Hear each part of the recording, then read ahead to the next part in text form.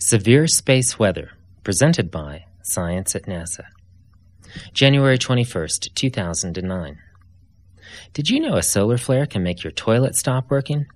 That's the surprising conclusion of a NASA funded study by the National Academy of Sciences entitled Severe Space Weather Events Understanding Societal and Economic Impacts.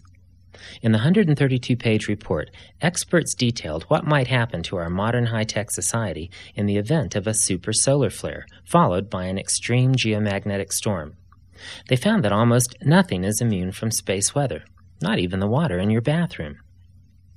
The problem begins with the electric power grid. Electric power is modern society's cornerstone technology, on which virtually all other infrastructure and services depend, the report notes. Yet it is particularly vulnerable to bad space weather. Ground currents induced during geomagnetic storms can actually melt the copper windings of transformers at the heart of many power distribution systems. Sprawling power lines act like antennas, picking up the currents and spreading the problem over a wide area. The most famous geomagnetic power outage happened during a space storm in March 1989 when 6 million people in Quebec lost power for nine hours. According to the report, power grids may be more vulnerable than ever. The problem is interconnectedness. In recent years, utilities have joined grids together to allow long distance transmission of low cost power to areas of sudden demand. On a hot summer day in California, for instance, people in Los Angeles might be running their air conditioners on power routed from Oregon. It makes economic sense, but not necessarily geomagnetic sense. Interconnectedness makes the system susceptible to wide ranging cascade failures. To estimate the scale of such a failure, report co author John Kappenman of the Metatech Corporation looked at the Great Geomagnetic Storm of May 1921, which produced ground currents as much as 10 times stronger than the 1989 Quebec storm, and modeled its effect on the modern power grid. He found more than 350 transformers at risk of permanent damage and 130 million people without power in the United States. The loss of electricity would ripple across the social infrastructure, with, quote, water distribution affected within several hours, perishable foods and medications lost in 12 to 24 hours, loss of heating and air conditioning, sewage disposal, phone service, fuel resupply, and so on. The concept of interdependency, the report notes, is evident in the unavailability of water due to long term outage of electric power and the inability to restart an electric generator without water on site.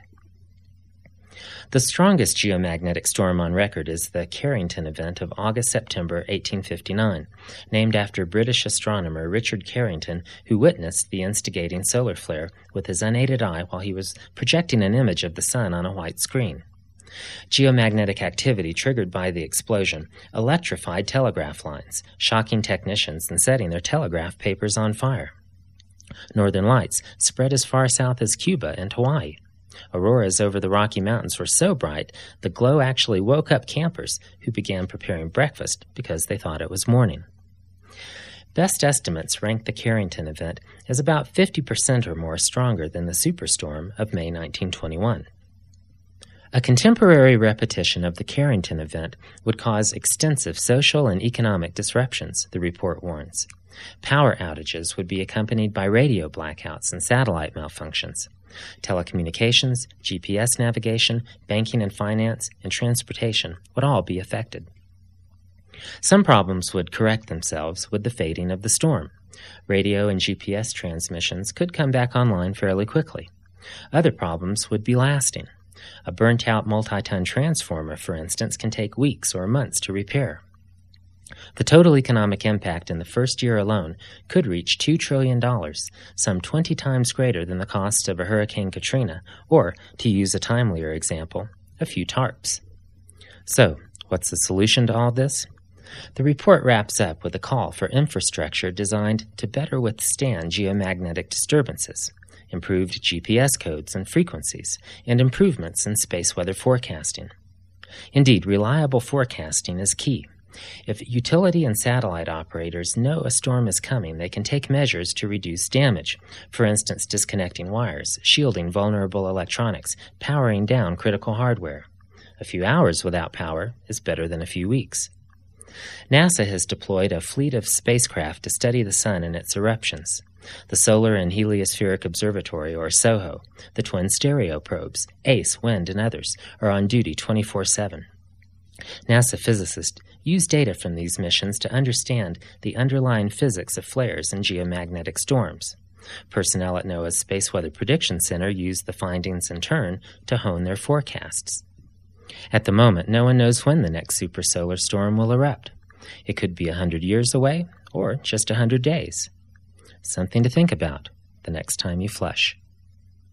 This story was written and read by Tony Phillips and presented by Science at NASA. To find more Science at NASA stories on the internet, please visit science.nasa.gov.